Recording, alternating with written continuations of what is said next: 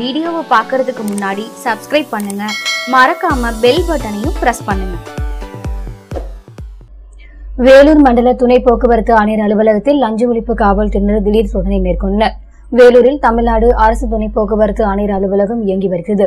இங்கு அதிக அளவில் லஞ்சம் பெறுவதாக வந்த புகாரின் அடிப்படையில் லஞ்ச ஒழிப்பு காவல்துறையினர் திடீர் சோதனை மேற்கொண்டனர். வேலூர் துணை போக்குவரத்து ஆணையராக ராமகிருஷ்ணன் பணியாற்றி வரும் நிலையில் அங்கு சென்ற லஞ்ச ஒழிப்பு காவல்துறையினர் சில முக்கிய ஆவணங்களை கைப்பற்றி தீவிர விசாரணை மேற்கொண்டு வருகின்றனர். இதனால் அப்பகுதியில் சிறிது நேரம் பரபரப்பாக காணப்படுகிறது.